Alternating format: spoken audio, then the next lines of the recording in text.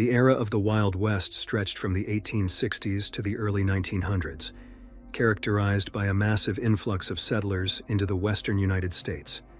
Families staked their claims on vast stretches of land, while cowboys and outlaws wandered the open countryside.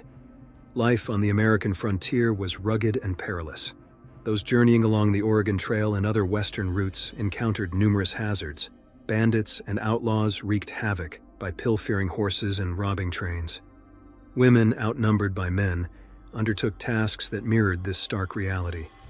It's no wonder our fascination with the Wild West endures. The frontier life was rife with captivating tales. In this documentary style video, we delve into 11 intriguing facts about the Wild West and the resilient individuals who shaped this distinctive period in American history. Number 1. The Wild West was a time of great innovation. For those living on the frontier, innovations must have seemed scarce. Settlers lived in small cabins or frontier towns that lacked the conveniences of established places in the East. However, innovations were occurring on a larger scale. Railroads extended further and further west, while telegraphs and telephones made it easier than ever to communicate across long distances.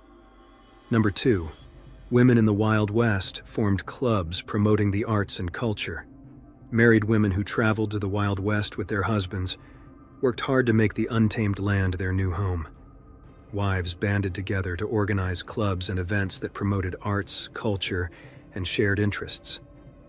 While women living back east scoffed at the idea of living in West, women who organized clubs insisted that their towns and cities were just as civilized as their eastern counterparts. Number three, although prostitution is a well known Wild West occupation, women worked other jobs too.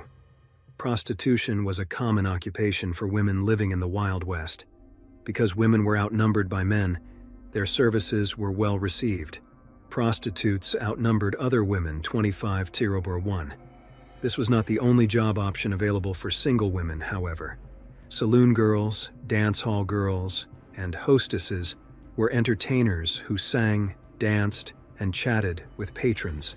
Female entertainers earned $10 per week plus commissions on drinks sold. They would often chat or dance with a patron and then direct him to the bar to earn money on his drink purchases. Some of these women chose to offer up services as prostitutes, while others strictly worked as entertainers. Number 4. The Pony Express only lost one mail sack during its operation.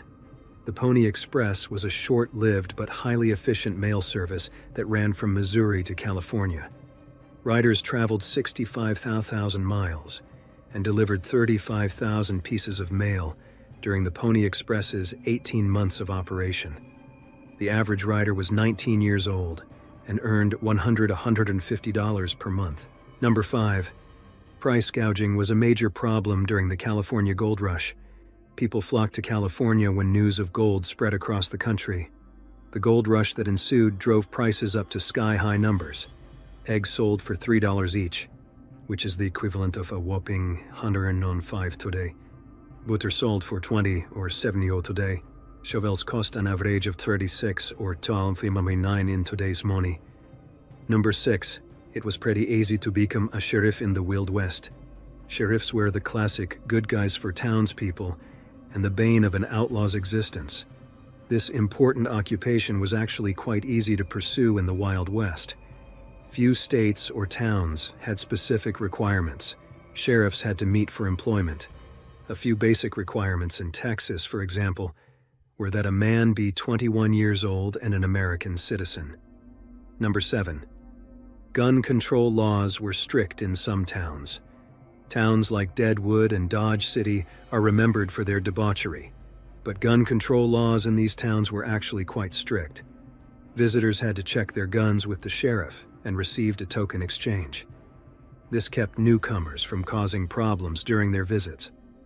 Residents were allowed to keep firearms in their homes for self defense. Number 8. Lead footed had the opposite meaning in the Wild West era. Today, someone is called lead footed if they drive too fast. In the Wild West, being lead footed meant you were too slow.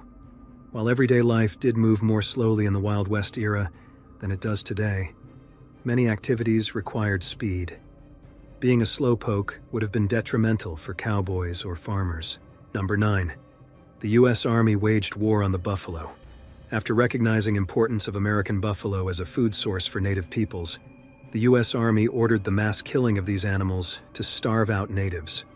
Between 10 and 30 million bison roamed the American West before the hunting started.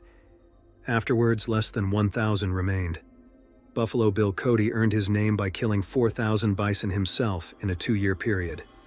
Number 10. Railroad police kept cargo and passengers safe from bandits. The railroad police still exist today, but they were formed in the 1860s as train security. The railroad police kept cargo and passengers safe from the ever present threat of train robberies. Gangs of bandits would target trains, and railroad police were often the sole protection available on the frontier. Number 11. Not all cowboys fit the modern stereotype. Spaghetti westerns of the 1950s have cemented a certain cowboy look in our minds. In reality, about one quarter of cowboys were African American. Many slaves worked as cowboys and continued the occupation as free men after the Civil War. Others were always free and chose the cowboy lifestyle.